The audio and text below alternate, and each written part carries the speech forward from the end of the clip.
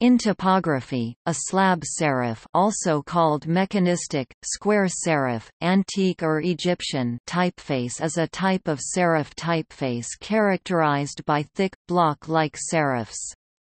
Serif terminals may be either blunt and angular Rockwell, or rounded Courier. Slab serifs were invented in and most popular during the 19th century. Slab serifs form a large and varied genre. Some such as Memphis and Rockwell have a geometric design with minimal variation in stroke width, they are sometimes described as sans serif fonts with added serifs. Others such as those of the Clarendon genre have a structure more like most other serif fonts, though with larger and more obvious serifs. These designs may have bracketed serifs which increase width along their length before merging with the main strokes of the letters, while on geometrics the serifs have a constant width.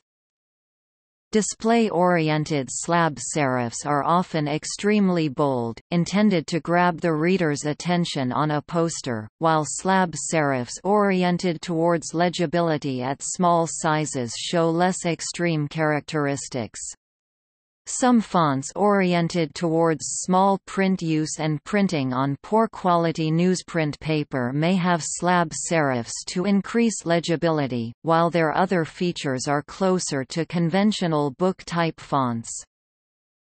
Slab serif fonts were also often used in typewriters, most famously Courier, and this tradition has meant many monospaced text fonts intended for computer and programming use are slab serif designs.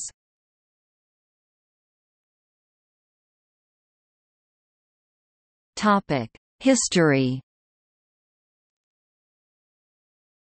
Slab serif lettering and typefaces appeared rapidly in the early 19th century, having little in common with previous letterforms.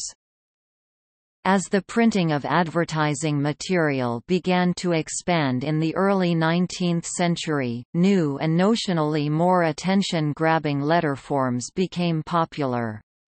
Poster-size types began to be developed that were not merely magnified forms of book type, but very different and bolder. Some were developments of designs of the previous 50 years, ultra-bold types known as «fat faces», which were related to «Didone» text faces of the period but much bolder. Others had completely new structures, sans serif letters, based on classical antiquity, and reverse contrast letter forms.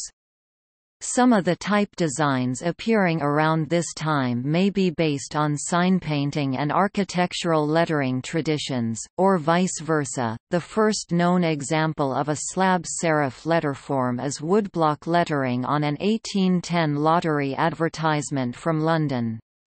Slab serif type was perhaps first commercially introduced by London typefounder Vincent Figgins under the name Antique appearing in a type specimen dated 1815 but probably issued in 1817, writing in 1825, the printer and social reformer Thomas Curson Hansard wrote with amusement that slab serif and other such display types were the outrageous kind of face only adapted for placards, posting bills, invitations to the Wheel of Fortune, Fashion and fancy commonly frolic from one extreme to another. Slab serifs declined following the growing popularity of sans serif faces, with which they always competed, and the revival of interest in old-style serif fonts as part of the arts and crafts movement.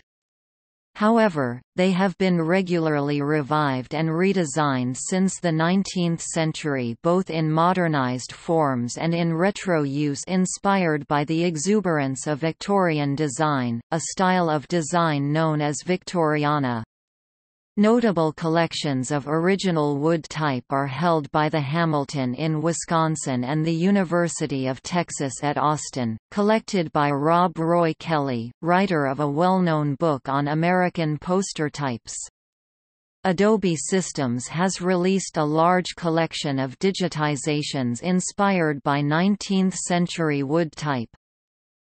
At first in Britain Egyptian was used for sans serifs and antique for slab serifs, the two names later somewhat blurred or swapped, following Napoleon's Egyptian campaign and dissemination of images and descriptions via publications like Description de l'Égypte 1809 an intense cultural fascination with all things Egyptian followed. Suites of contemporary parlor furniture were produced resembling furniture found in tombs. Multicolored woodblock printed wallpaper could make a dining room in Edinburgh or Chicago feel like Luxor. While there was no relationship between Egyptian writing systems and slab serif types, either shrewd marketing or honest confusion led to slab serifs often being called Egyptians. Historian James Mosley has shown that the first typefaces and letters called Egyptian were apparently all sans serifs. However, Egyptian came to refer to slab serifs by the mid and late 19th century. Some 20th-century slab serifs ones designed after the modern system of names for fonts had taken hold, have Egyptian names as a reminder of this. Cairo, Karnak, and Memphis are examples of this. The term Egyptian was adopted by French and German foundries, where it became Egyptienne. A lighter style of slab serif with a single width of strokes was called engraver's face since it resembled the monoline structure of metal engravings. The term slab serif itself is relatively recent, possibly 20th century. A second aspect in the development of slab serifs was the influence of geometric design of the 1920s, and many slab serifs were produced that had a more monoline structure similar to geometric sans serifs also popular around this time, such as Futura. These are called geometric designs. Because of the clear, bold nature of the large serifs, designs with some slab serif characteristics are also often used for small print, for example in printing with typewriters and on newsprint paper. For example, Linotype's legibility group, in which most newspapers were printed during much of the 20th century, were based on the Ionic or Clarendon Style adapted for continuous body text, more loosely, Joanna, Theserif, FF Meta Serif and Guardian Egyptian are other examples of newspaper and small print orientated typefaces that have regular, monoline serifs sometimes more visible in bold weights but a general humanist text face structure not particularly influenced by 19th-century stylings as Clarendon's are.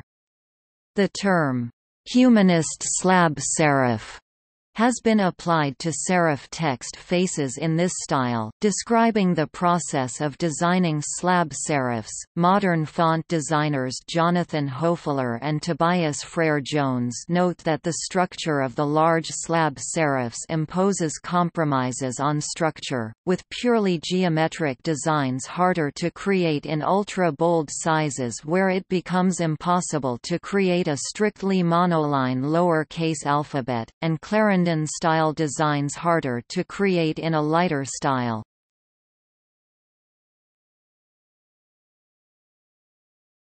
Topic: Sub-classifications. There are several main subgroups of slab serif typefaces.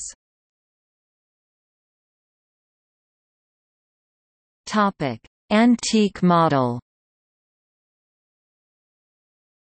The earliest slab serifs were often called «antiques» or «Egyptians». They were often quite monoline in construction and had similarities to 19th-century serif fonts, such as ball terminals.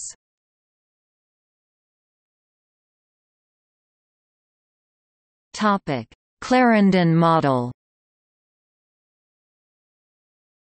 Clarendon typefaces, unlike other slab serifs, actually have some bracketing and some contrast in size in the actual serif. The serifs often have curves so they change width and become wider as they approach the main stroke of the letter. Many again have similarity to 19th-century serif font designs, with considerable variation in stroke width between vertical and horizontal strokes. Examples include Clarendon and Egyptian. Topic: Italienne model In the Italienne model, also known as French Clarendon type, the serifs are even heavier than the stems, forging a dramatic, attention-drawing effect. This is known as reverse contrast type. It is traditionally associated with use in circus and other posters, and is commonly seen in Western movies or to create a 19th-century atmosphere. It was most popular from the 1860s until the early 20th century, particularly in the United States, although the basic concept originates from London printing of the 1820s and it was used outside the United States. It has often been revived since, for example by Robert Harling as Playbill and more recently by Adrian Frutiger as Westside.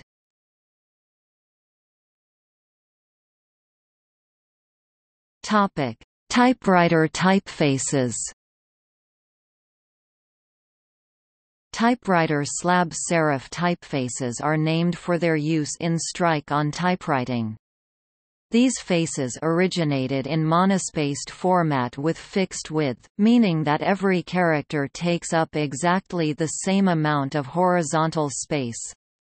This feature is necessitated by the nature of the typewriter apparatus. Examples include Courier on the geometric model and Prestige Elite on the Clarendon model. A considerable variety of other names have been used, particularly in the 19th century. At the time, the separation between typeface name and genre had yet to become established, so it is not clear if a name describes a specific typeface or is meant to refer to a subgenre. For example, slab serifs on the French Clarendon model were also called Celtic, Belgian, Aldine, and Teutonic by American printers, as well as Tuscan, a name which refers to slab serifs with diamond-shaped points on the sides of the letter form.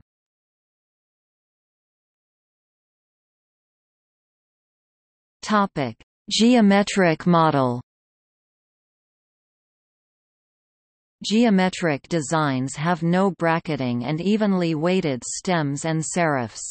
Early examples include Memphis, Rockwell, Karnak, Beton, Rosmini, City and Tower, several of which were influenced by geometric sans serifs of the 1920s and 30s, especially Futura. Recent well-known geometric sans serifs include ITC Lubalin, Neutraface Slab and Archer. Some monoline slab serifs such as Serifa, Helserif and Roboto slab have been designed under the influence of neo-grotesque or realist sans serif fonts of the 1950s and 60s onwards, and these may be called neo-grotesque slab serifs. Topic. See also List of slab serif typefaces